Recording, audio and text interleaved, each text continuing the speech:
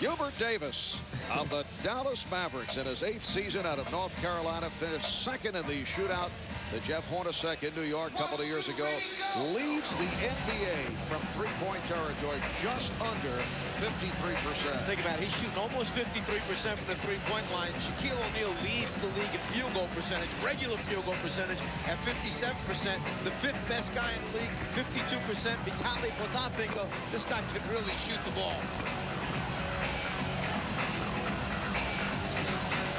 He runs around, so he takes it off on his right-hand side each time, Dan. He doesn't want to pull it across his body. He goes strong side on the rack.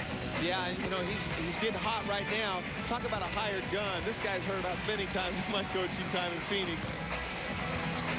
Well, Hubert Davis is fourth all-time in three-point shooting on fire right now. Shots are falling a little bit short. Starting not to extend the arm all the way. That's fatigue setting in.